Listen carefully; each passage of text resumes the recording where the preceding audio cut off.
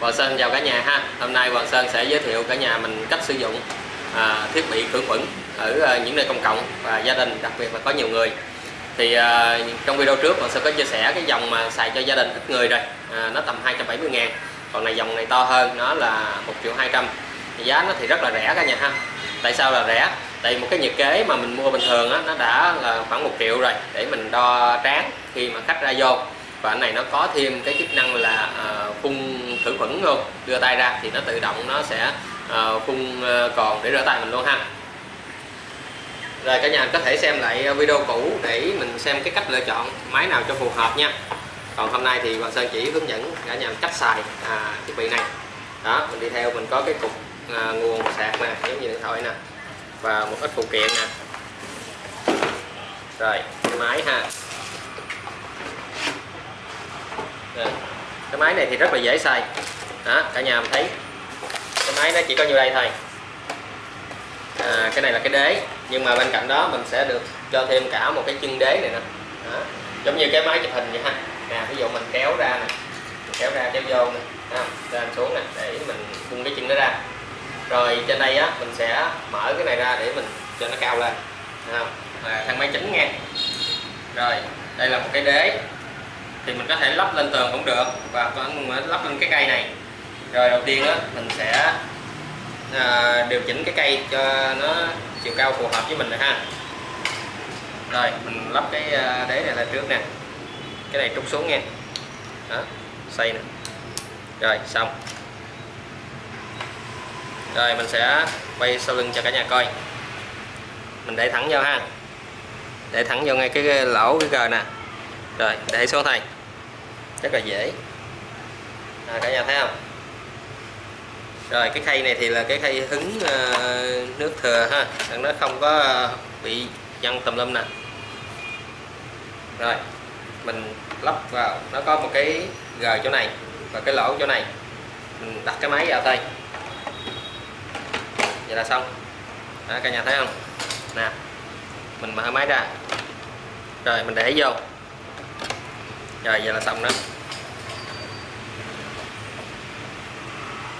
Rồi bây giờ mình sẽ cắm dây nguồn vào nghe. Thì à, cái loại này á là nó xài bằng điện trực tiếp. Đó nếu mà như cả nhà mình xài pin á thì mình phải mua thêm cái pin sạc. À, chứ theo máy thì không có cả nhà. Ở cái sau là mình bật cái nút ra. Thì cái này mình có thể mua pin sạc để mình gắn vô nghe hay pin to nè. À, nhưng mà đi theo máy là không có. Cái này có thể là cách giảm giá thành với lại cái nhu cầu sử dụng cái uh, pin sạc ở đây cũng không có nhiều. Thì cái máy này mình xài cả ngày đấy thì cục pin sạc là sợ không có đủ công suất cả nhà ha. Rồi mình sẽ có một cái sạc điện 220 mình cắm bên phải của máy. Đây mình cắm vào. Đó. Rồi mình có nút mở nguồn đó, và một nút chức năng. Rồi bây giờ mình sẽ cắm vào điện. Trước khi cắm vào điện thì mình sẽ châm còn vào đây ha. Thì uh, mình sẽ có một cái van à, một cái um, quặng.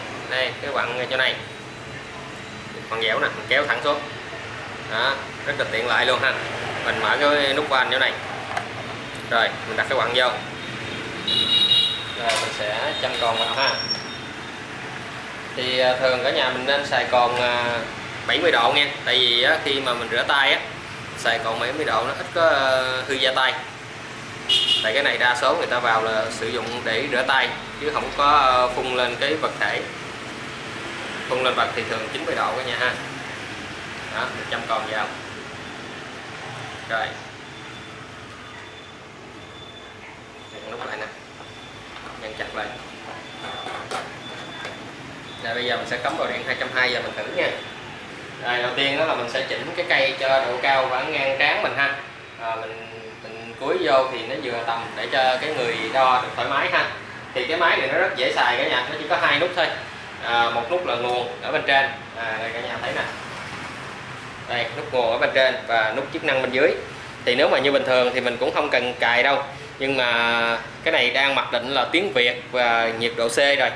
Còn mình có thể cài lại độ F hoặc là cài tiếng Anh à, khi mà họ đo nhiệt độ xong. Cái máy nó báo bằng tiếng Anh hoặc ngôn ngữ khác ha tiếng Trung Quốc còn này mặc định là mình khỏi cần cài chỉ cần mở máy và xài thôi. Rồi bây giờ mình sẽ thử đo nha. Đó đầu tiên là cái cây cho nó cố định. Rồi mình sẽ mở máy. Này cả nhà thấy không? Bây giờ Hoàng Sơn sẽ bước qua đây thử nha. Mình sẽ đưa cái trán vào gần ngay ờ, cái đầu giò. Đó thì ở trên đây sẽ có một cái đèn hồng ngoại sẽ đo thân nhiệt mình. À, mình thử lần nữa nha đó mình cách khoảng tầm 2 3 cm mình đo được nhiệt độ mình không có cần phải à, có ngược người à, phải cầm cái cây súng phải đo mình. Rồi bây giờ mình sẽ đưa tay vào. Ở dưới đây là cái khay hứng nước à, khi nước thừa. Mình có thể không xài cũng được ha. Hoặc là mình xài để hứng à, nó đỡ dơ ở cái khu vực xanh. Rồi mình sẽ đưa tay vào ở dưới nè đưa lên. Đó, cả nhà thấy nó phun không? Nó phun nước để cho mình vệ sinh tay. Thì cái máy này chỉ để phun nước vệ sinh tay chứ nó không có ờ, cầm phun được nhiều cái như mình đem cái hàng hóa ở ngoài về thì mình không có xài được cả nhà ha. Nên là cái này chỉ là đo trán đo tay và phun vệ sinh tay. Mình thử lần nữa nha. Thì dưới đưa lên. Nè thấy không? Đó, thì máy nó vẫn đo được, vẫn đo được tay của mình luôn đó, nhưng mà thường đó, mình tốt nhất mình nên đo tráng. À, hay hay uh, thao tác nha. Đo tráng xong rồi. À, ba sáu hai năm. Rồi sau đó mình sẽ vệ sinh. Đó cả nhà thấy rồi à, hôm nay Hoàng Sơn chia sẻ cả nhà mình cách sử dụng cái à, dòng máy à, phun khử khuẩn ở nơi công cộng hoặc là gia đình mình mà đông người ha. Ví dụ mình đi làm về cái mình đưa tay vô luôn mình đo mình kiểm tra mình luôn. À, cho chắc ha và mình sẽ cắm điện vào xài. À, nó đơn giản vậy thôi. Và nếu mà như nhà mình có nhu cầu mình mua thêm cái cục pin sạc thì mình gắn vào. Nhưng mà vào Sơn khuyên cả nhà mình không nên xài pin sạc. Tại vì á, cục pin sạc nó khá là mắc tiền. Đó, nó sẽ tăng cái giá thành cái máy mình lên.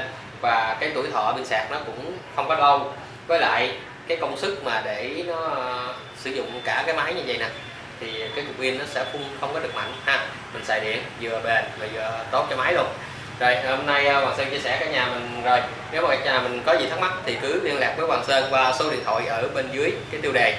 Hoặc là có cần thiết bị này thì gọi cho Hoàng Sơn nha.